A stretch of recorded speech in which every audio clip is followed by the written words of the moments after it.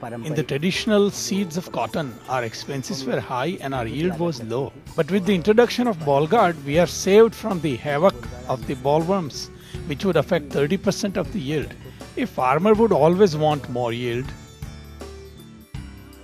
The consistent infestation of bollworms has long suppressed the productivity of India's cotton producers, keeping it well below world standards. But in 2002, all of this changed with transgenic seed technology. I've got good yield, and that is why I am on the path of progress. One thing that has helped by using Bollgard is that there has been a reduction in the number of times of spraying pesticides. This cotton had to be sprayed only once. Since I had to spray only once, my expenses have reduced, and the bollworms that come had vanished. No wonder that today Indian farmers represent some of the most rapid adopters of biotech crops in the world. We hope for success.